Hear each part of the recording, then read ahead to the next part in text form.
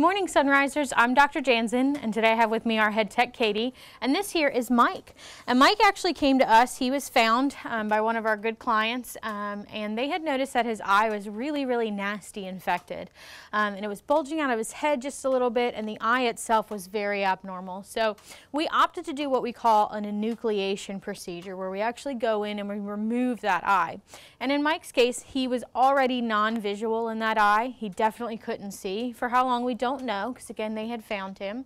Um, but a lot of times when we do these enucleation procedures like this, nine times out of 10 they actually feel better after surgery because they don't have that super, super painful eye um, sitting right there in their head. And we, it's a very simple procedure. We go in, we take the eye out, we put a little layer of suture.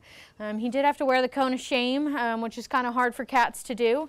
Um, but uh, he, he did fantastic with it. We took his sutures out about 10 days later. And as you can see, it, it doesn't even faze him. Mike's a, a otherwise happy, healthy, playful kitten. Um, he is still making his way through his kitten shots currently.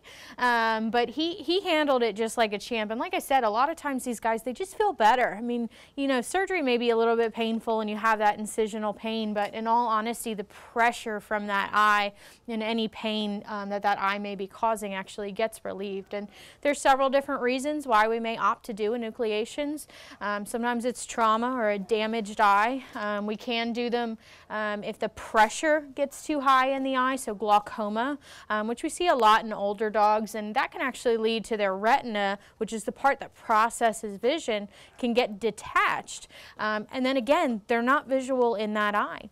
So if you think your pet maybe has something go with the eye, they're squinty, maybe the eye is bulging out or it's really red, maybe they're rubbing their face or have excessive tears, give us a call. Let us take a look.